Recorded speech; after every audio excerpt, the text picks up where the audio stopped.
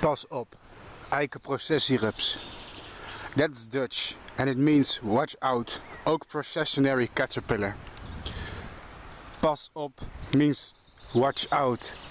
And processie means processionary and rups means caterpillar. it means the oak processionary caterpillar should be in the area.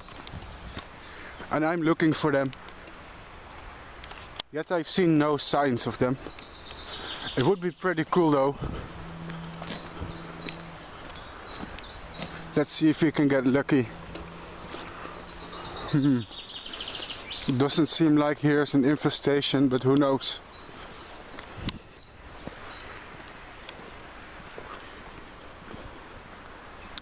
What they do is they spin very large nests in trees, usually against the tree bark, and during the day they rest on the bark of the tree in one large group of caterpillars. And during the night they disperse to feed. And what's dangerous about them is their hairs, which are irritating and noxious. And uh, the wind can disperse these hairs. So people with asthma or allergies, you know. Oh look, there's a nest. Wow.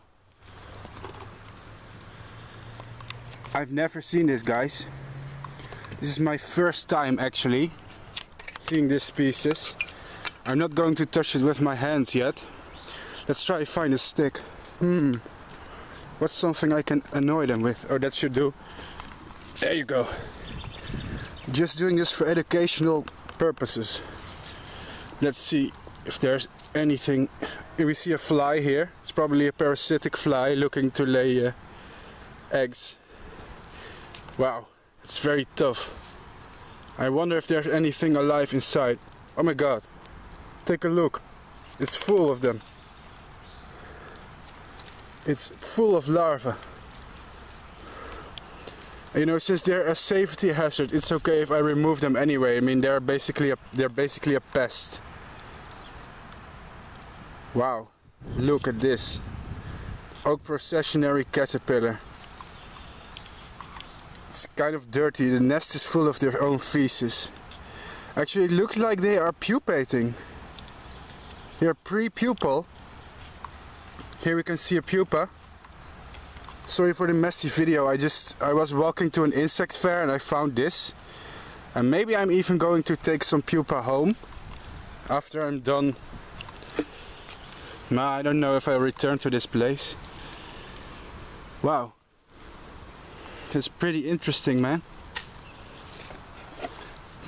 So yeah, what I basically just did, I basically just destroyed an entire nest of uh, processionary caterpillar moths. I destroyed it so I could show it to you for educational purposes.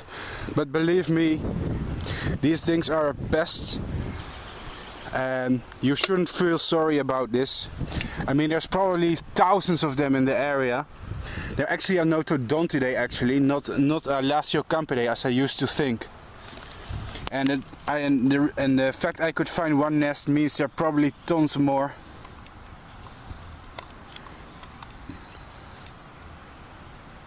Wow, it is actually my first time observing them. I'm glad I had my camera with me today.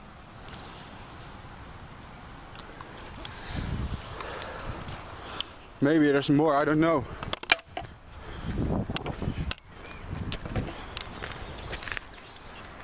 Hmm. What's interesting is you can see these silk strands running up the tree. I think it's a pathway actually. I think they follow the silk. Oh look! There's another nest. Wow. It's full of shed skins. I'm not going to destroy this nest actually. I'm going to leave it intact because even though they are pests and they are health hazard, I still have some kind of respect for them. I'm not going to uh, to take away all their nests, just one for the purpose of observing them. Oh, that's quite interesting. Look at the way the silk strand runs in the tree. I think, I think that's how they find the place where they uh, feed at night. Let's let's check it out. See, here's the other nest. Hmm. So yeah, look.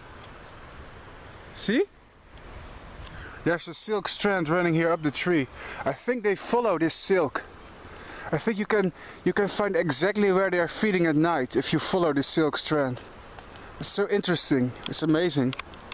I love to study these.